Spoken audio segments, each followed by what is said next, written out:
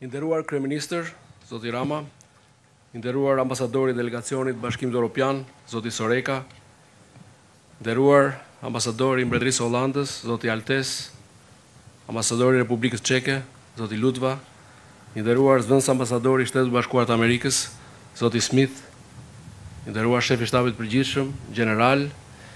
dhe pjesëmarrës, 4960 trupa edhe njëqind e pesëdhjetë e dy mjete të forcave të armatosura, tre mijë e treqind e nëntë trupa dhe njëqind e trembëdhjetë mjete zjarrfikëse, një mijë e nëntëqind e katërmbëdhjetë forca lokale të pothuaj të gjitha bashkive të vendit, një mijë e katërqind forca vullnetare, katërqind e tetëdhjetë e nëntë forca të Policisë së Shtetit, njëqind e dyzet e nëntë forca të administratës zonave të mbrojtura, gjashtëqind e gjashtë forca të shërbimit pyjor, dhjetë mjete ambulance të urgjencës mjekësore dhe padyshim gjithë administrata e Agjencisë Kombëtare të Mbrojtjes Civile pranë Ministrisë së Mbrojtjes. Kjo ishte fuqia njerëzore dhe motorike e operacioneve nga toka për të luftuar me treqind e tetëdhjetë e nëntë vatra të zjarrit në të gjithë vendin në harkun e vetëm dy muajve. Ndërkohë në ndihmë të operacioneve nga ajri të Forcës sonë Ajrore, Menjëherë pas kërkesës drejtuar Mekanizmit Europian të Mbrojtjes Civile, ERCC, dhe mbështetjes energjike që e përshëndes dhe falënderoj nga delegacioni i Bashkimit Europian në Tiranë, iu bashkuan forcës sonë tre mjete helikopterë tip Chinook dhe dyzet e tre vetë personel nga Mbretëria e Holandës, dy mjete helikopterë me shtatë vetë personel nga Çekia. E vyer ishte mbështetja e siguruar nga Ambasada e Shteteve të Bashkuara të Amerikës, përmes USAID-it me ekspertë që asistuan teknikisht dhe i bënë më efektive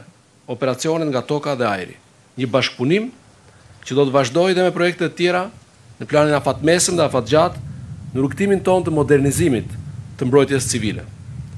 Në luftë për të mbrojtur së pari jetën e më pas pasurinë e qytetarëve tanë, e padyshim natyrën dhe mjedisin tonë. Dy qytetarë, bashkëshortët Andrea dhe Tatjana Haxhiaj, humbën jetën si pasojë e zjarrit të beftë në fshatin Asim Zeneli, në Gjirokastër dhe katër të tjerë u lënduan. Dëmet do të kishin qenë të palogaritshme,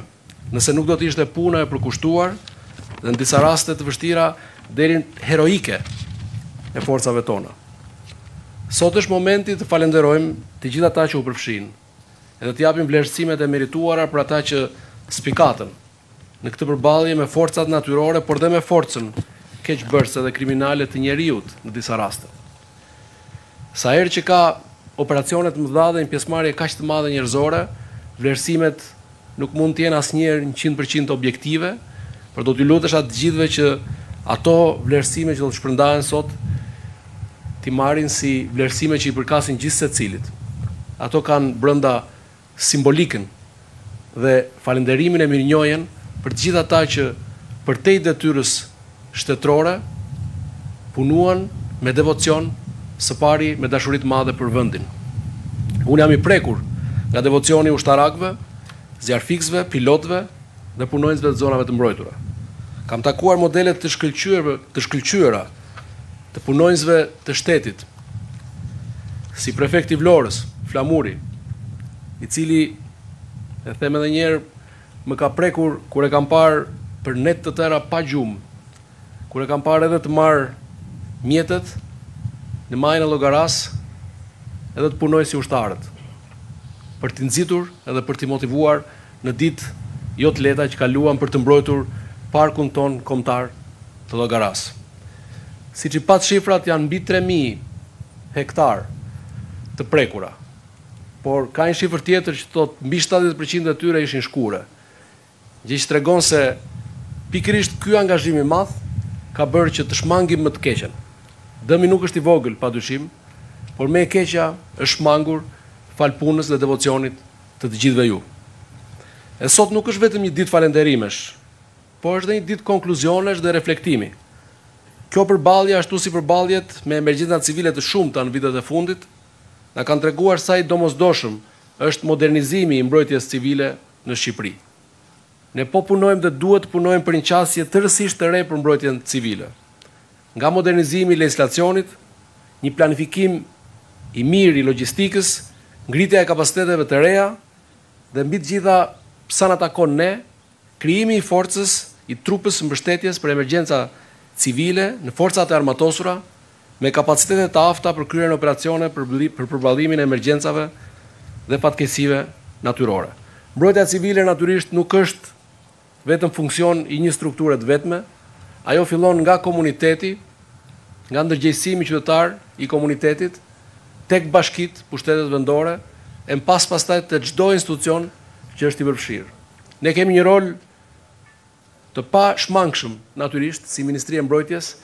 me agjencinë tonë kombëtare të Mbrojtjes Civile, e cila prej pothuaj dy vitesh është nën varësinë e Ministrinë së Mbrojtjes, për të bërë harmonizimin dhe për të aktivizuar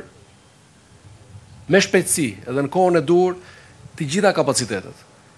Por, nga përballja me emergjencat duhet të mësojmë të gjithë. Ne kemi mbajtur shënimet tona. Dhe natyrisht do t'i kthejmë të gjitha mësimet e nxjerra në plan pune, sa i përket gatishmërisë së mjeteve tona ajrore dhe mjeteve të tjera dhe të gjithë harmonizimit të punës që duhet të bëjë Agjencia Kombëtare e Mbrojtjes Civile. Para pak ditësh kemi realizuar, e them me shumë kënaqësi, kemi realizuar për herë të parë një kontratë model të mirëmbajtjes së helikopterëve përmes Agjencisë së prokurimit të NATO-s, do të ecim në këtë rrugë, do të përdorim kapacitetet më të mira të partnerëve tanë, fatmirësisht jemi një vend aleat i NATO-s dhe NATO ka strukturat e veta që na ndihmon në blerje dhe në prokurime të vështira, legjislacioni ynë e mundëson, kryeministri na ka inkurajuar, sidomos, Kohët e fundit në takime të specializuara për të qenë sa më jo vetëm transparentë por edhe sa më profesionistë në kontratat tona të cilat pastaj na duhen edhe për të cilat kujtohemi sa herë që përballemi me pasojat e fatkeqësive natyrore. Pra, duke filluar nga ne e duke përfunduar te çdo kryeplak fshati, është rasti që të mbajmë shënime, e t'i kthejmë me të vërtetë në punë të përditshme mësimet e nxjerra nga përballja me emergjencat. Është një forcë shumë e madhe që përballet me to, është një janë burime të mëdha financiare që ne shpenzojmë për pasojën, ndërkohë duhet shumë më pak për të eliminuar shkakun edhe për të bërë lajmërimin e hershëm. Jam i bindur që nuk do të bëjmë vetëm paradë vlerësimesh, por do të bëjmë edhe një meditim, gjithsecili, çdo institucion për të kuptuar se si, se sa i domosdoshëm edhe sa mbrapa jemi, duhet ta themi, akoma, drejt harmonizimit dhe bashkimit të të gjitha forcave, jo vetëm me sytë nga qeveria, por edhe te pushteti vendor. Nëse bie zjarri në një pyll, një kryetar bashkie ka dy zgjedhje, ose të ketë ngritur një sistem sinjalizimi të hershëm dhe të marrë përgjegjësinë e vet, duke ngritur nivelin e përgjegjësisë për ta fikur atë me forcat zjarrfikëse të veta, ose të presë derisa tymi të dalë në qiell dhe pastaj të kapë telefonin e Agjencisë Kombëtare të Mbrojtjes Civile për të kërkuar helikopterin. Pra, na duhet të gjithë të reflektojmë, ne kemi mbajtur shënimet tona dhe natyrisht kemi shumë punë për të korrigjuar. Shumë faleminderit. Kam kënaqësinë t'i jap fjalën kryeministrit, të cilin e falenderoj për vëmendjen dhe mbështetjen e jashtëzakonshme në këtë stinë të vështirë emergjencash që sapo kaluam.